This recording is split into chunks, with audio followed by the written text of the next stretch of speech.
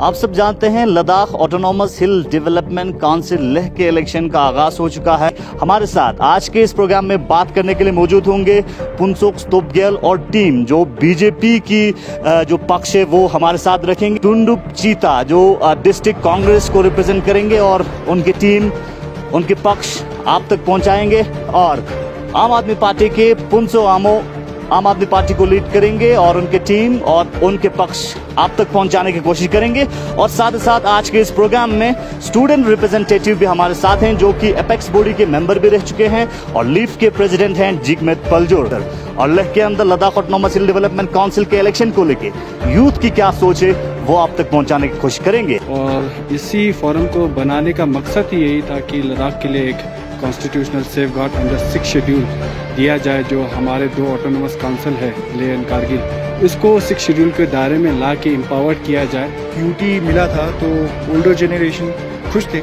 और जो younger generation थे वो कंफ्यूज में थे एक था कि जॉब का क्या होगा लैंड का क्या होगा। डेफिनेटली बेसिक इश्यूज़ तो है ना सर एजुकेशन और हेल्थ केयर ही तो है जो हम आम पब्लिक मांगते हैं। कि हमारे एमपी ने कंफ्यूज किया ये वगैरह। मैं आपसे कहना चाहता हूँ जब एमपी इलेक्शन थे हमारे मैनिफेस्टो में सिक्स शेड्यूल दिया गया था। जब हमारा लद्दाख यूटी बना था तो फ़र्स्ट मेमोरेंडम हमारे एमपी साहब ने और जो हमारे मुंडा साहब से मिलकर ग्रैंड ड्रैगन में सबसे फ़र्स्ट यहाँ पे सिक्स कैजुअल के लिए मेमोरेंडम बीजेपी ने दिया। क्योंकि मैडम ने बोला कि यहाँ पे हर जगह इंटरनेट नहीं है वादा तो आप लोगों ने भी किया था दिल्ली में बैठ के कि वाईफाई हर जगह लगाएँगे।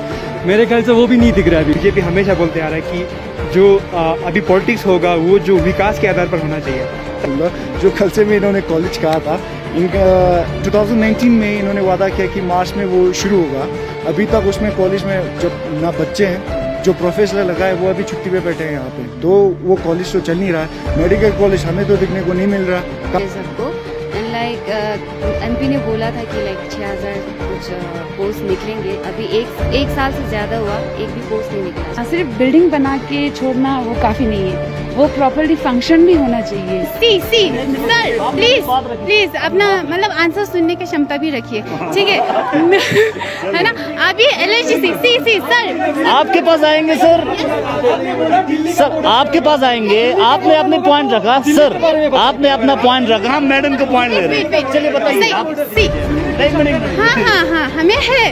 हम तो आम आदमी पार्टी जो भी होगा